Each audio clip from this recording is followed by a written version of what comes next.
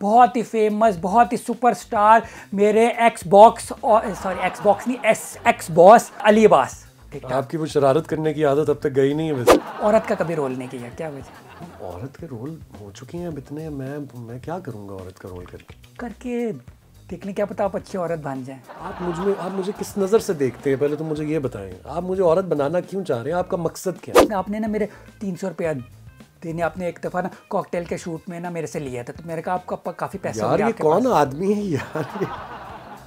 मुझे हमना ने पहले ही कहा था कि उसके को पैसे वैसे देने लेने ना तो वो कर लो लेकिन तीन सौ रुपये यार। आपको नहीं याद? भूल गए।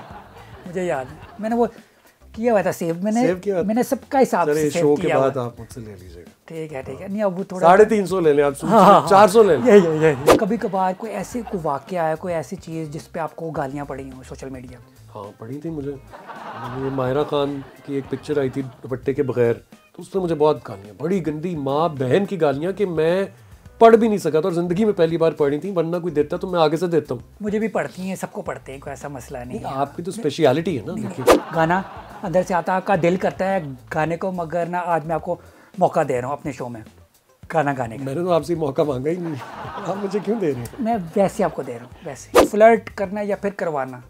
डिपेंड करता है सामने कौन। दोनों ही। अगर किसी को अच्छा फ्लर्ट करना आता हो तो मैं उसे करने दूँगा और अगर नहीं आता तो मैं कर लूँगा। पहले तो आप वो नंगी तस्वीरें बनाते थे आप कौन सी बनाते हैं?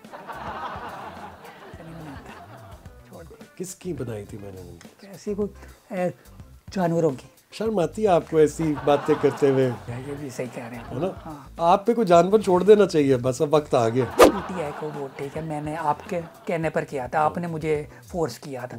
तो जैसे मुझे पछतावा मैंने आपको फोर्स किया था यार कासिम आप झूठ बोल नहीं नहीं, आपने कहा था यार हम पीटीआई को देंगे वगैरह आपने शर्ट भी जमाने में वो था ना एक, हाँ वही रहा था तो, तो मुझे आपको होश आ गए हैं। महँगाई बहुत हो चुकी है। लेकिन अब आप क्या कर सकते हैं? आप आप किसी और को भी लेके आएँगे शायद टेम्परली छः महीने साल के लिए कुछ बेहतर हो। लेकिन जो पीछे एक, एक जो प्रेशर बन रहा है दरवाजे के पीछे वो कभी ना कभी तो खुलना है। अच्छा मुझे भी प्रेशर आया हुआ कि शो खत्म कर लेते तो मैं मैं मेरी जान मैं तो कब से ये बात हाँ। का इंतज़ार कर रहा हूँ। हाँ। अपने मुँह से कहना अच्छा नहीं लग रहा था मुझे कि बस कर। हाँ।, हाँ।